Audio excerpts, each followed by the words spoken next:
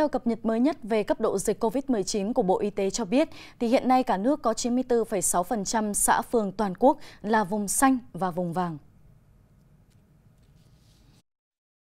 Đến chiều ngày 4 tháng 5, những chỉ số tích cực về phòng chống dịch COVID-19 đã làm cho bản đồ dịch tễ cấp độ dịch quy mô xã phường trên cả nước cũng có sự thay đổi theo chiều hướng vùng xanh, vùng vàng là chủ đạo. Cập nhật mới nhất của Bộ Y tế cho biết hiện có 94,6% xã phường toàn quốc là vùng xanh và vàng, trong đó số xã phường vùng xanh là 80,8%, vùng vàng là 13,8% số xã phường vùng đỏ trên cả nước chỉ còn 16 xã phường. Như vậy có thể thấy cuộc sống của người dân đang dần trở lại trạng thái bình thường mới, tập trung phát triển kinh tế xã hội. Trước tình hình gia tăng số ca mắc bệnh giai đoạn đầu mùa dịch năm 2022, Sở Y tế thành phố Hồ Chí Minh đã yêu cầu các bệnh viện, bệnh nhiệt đới Nhi đồng 1, Nhi đồng 2, Nhi đồng thành phố khẩn trương triển khai tập huấn và tập huấn lại về nâng cao năng lực chẩn đoán, điều trị sốt xuất huyết.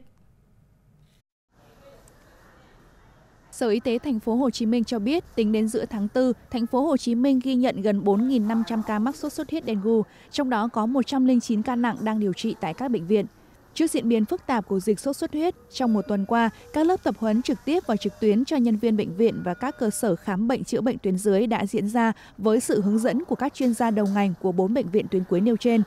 Ngành y tế thành phố Hồ Chí Minh tiếp tục theo dõi sát sao tình hình diễn biến của dịch bệnh nói chung và sốt xuất huyết nói riêng để kịp thời có những biện pháp can thiệp phù hợp với mục tiêu hạn chế số ca chuyển nặng và tử vong cũng như không để xảy ra những ổ dịch lớn. Theo báo cáo của Bộ Y tế, từ đầu năm đến nay, cả nước ghi nhận hơn 14.700 trường hợp mắc sốt xuất huyết, trong đó có 6 trường hợp tử vong. Bộ Y tế dự báo trong thời gian tới, số ca mắc sốt xuất huyết có xu hướng gia tăng do đang bắt đầu vào thời điểm mùa dịch.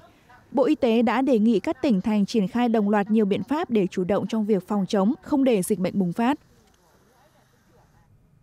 Thưa quý vị, Lai Châu là tỉnh miền núi có số người nghiện ma túy tương đối lớn. Hiện tại Lai Châu có gần 3.000 người nghiện các chất ma túy có trong hồ sơ quản lý. Nhưng toàn tỉnh lại chỉ có duy nhất một cơ sở cai nghiện ma túy tập trung, đã gây nên không ít khó khăn cho công ty quản lý người bệnh. À, tuy nhiên, thì bằng sự nỗ lực của cả hệ thống chính trị và đặc biệt là Trung tâm Điều trị cai nghiện bắt buộc của tỉnh đã giúp cho nhiều con nghiện thoát khỏi nàng tiên nâu, tái hòa nhập cộng đồng, trực tiếp tham gia lao động, sản xuất và phát triển kinh tế.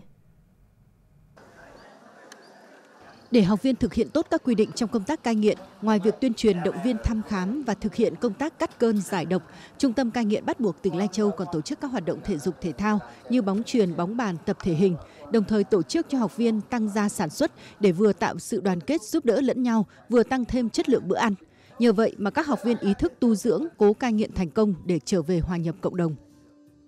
Bọn em vào trong này cai nghiện trong này thì được cái là các thầy cô ốm đau được các thầy cô cũng được ờ, chú đáo chăm sóc sức khỏe cho học viên. Sức khỏe của em hiện nay là quá ổn định. Do điều kiện về cơ sở vật chất và con người thiếu nên hàng năm Trung tâm cai nghiện bắt buộc tỉnh Lai Châu chỉ tiếp nhận hơn 136 học viên, còn lại phải cai nghiện tại cộng đồng và điều trị bằng uống methadone. Cai nghiện bắt buộc học viên thực hiện các quy trình nghiêm ngặt nên hiệu quả tốt hơn, giúp học viên khi trở về địa phương nhanh chóng hòa nhập cộng đồng, trở thành những công dân có ích cho xã hội. Khi học viên đã chấp hành gần hết thời gian cai nghiện rồi thì trước 45 ngày thì trung tâm có mở một cái lớp đó là tư vấn cho các em về cái công tác là làm thế nào để là chống tái nghiện khi ra tái hòa nhập cộng đồng dựa vào cái nhu cầu đấy thì mới lên được cái kế hoạch sau cai sau này để làm tốt công tác sau này đấy. thì cái đấy là trung tâm đã bám sát và làm tốt các nhiệm vụ như thế